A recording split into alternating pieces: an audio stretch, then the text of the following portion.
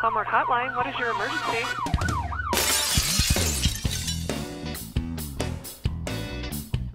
Which real numbers are equal to their cubes? Which real numbers are equal to their cubes? Just one, right? And negative one. True. That's all I Is can think it? of, right? Anything else is going to be much bigger or much smaller. Right. So I guess you just need to, to think about how properties of numbers and how they behave. So um, they said which real numbers are equal to their cubes. So real numbers are, um, well, actually it's everything but imaginary. It's all the numbers we've been you've been working with except for imaginary numbers.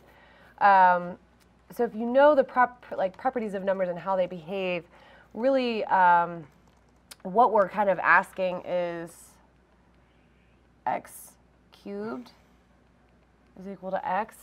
Like if we had something like that, we're wondering, I don't know, could we solve this algebraically this way? Um, I'm not sure how you I would mean- solve that algebraically that way. I don't know if the, I feel like the most efficient way is to just try numbers, but then you might be missing some rational numbers, right? Right. That you aren't sure about. Um, Oh, you could. Yeah, because you just, so set it equal to zero. you know, so minus, and then, And then factor, out factor. an x, so x squared minus 1. Yeah. And So that gives us the zero. numbers that we- Okay, yeah. all right, let's do that. So also, all right. I have not seen this question before, so I just kind of had to think about that first. I'm sorry, I apologize. You, This got, is, you, you saw my process there. Yeah, Um, these these problems can be tough because they're they're related a lot to number theory, and you have to uh, exactly. think about an equation like x cubed has to equal x, and Right. then go from there. Uh huh. Yeah. So I was just kind of thinking of numbers and knowing how they behave. I was thinking, oh, well, I know that one cubed, you know, if you take one times one times one, that's still going to equal one. And that's really what they're asking is what number cubed is going to equal itself. And then we also mentioned negative one cubed is going to be itself, and then also zero Yeah. cubed. So if we solve it algebraically, um, you know, we can actually create an equation for this whole whole thing. Um, and I'm kind of proving the answers here. Zero cubed would also be zero. And All right, actually, I think this algebraic way is great because we did not say zero. we didn't right? say We forgot zero, it. but it's very easy the algebraic method will show you that zero is is an answer. So uh, setting up an equation, this equation makes sense because we're wondering what number, that's going to be our x, cubed is going to be equal to that same number. So this equation, we can set that up, and if we can solve for x in this equation algebraically, then we know which numbers cubed equal themselves. So um, what I started doing is I subtracted x from both sides um, because I'm setting this equal to zero. A lot of times when you're solving equations with um, higher powers, um, second power, third power, fourth power, this is a really good strategy to use if you are solving um, these types of equations. So then on the left side, I have x cubed minus x, which, you know, they, they're not like terms, so they don't combine. Um, and then from here, again, a, a strategy to solve higher degree uh, functions or equations is to factor, get them into factored form. So this is why I factored out an x from both um, of my terms.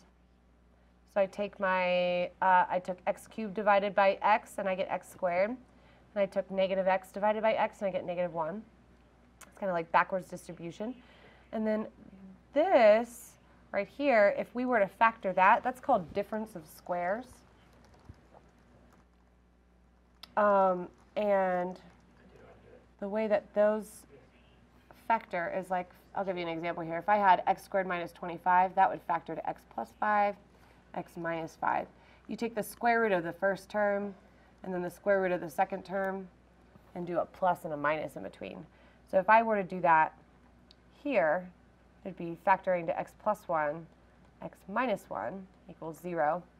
And the reason why this is a, uh, a algebraic strategy to solve this is um, what you can do is use the zero product property to solve, which means um, anything times 0 is just 0. And what we're saying here, let me get this, is I have something times something else times something else. And that's all equal to zero. So if any one of those three factors were equal to zero, this equation would be true. So I set up that. I say this factor is equal to zero. I say my x plus 1 is equal to 0, and I say my x minus 1 is equal to 0. Now I want to find out what x would actually be. Um, the first one's already done for us. x is isolated. It's 0, and we actually saw that one up there. Here I have one step, which is just to subtract 1 from both sides. So x is negative 1. This is one that we found there. And then here I'm going to add 1 to both sides, and x is 1 here.